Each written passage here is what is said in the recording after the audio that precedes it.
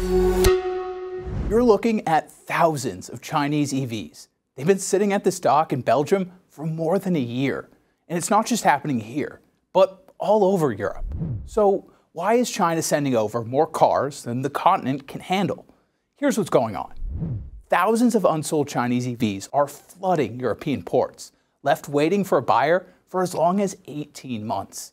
Automakers in China are sending these vehicles over without a plan in place to sell them. Instead, they're using the parking lots at ports throughout Europe as storage, resulting in a logjam of cars.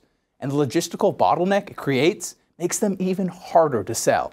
Some European ports are now requiring importers to provide proof they have plans in place to move their vehicles elsewhere once unloaded.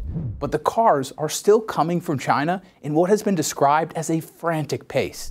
Instead of the usual shipments that see between 1,000 to 2,000 EVs delivered, cargo boats are now dropping off up to 7,000 cars at once.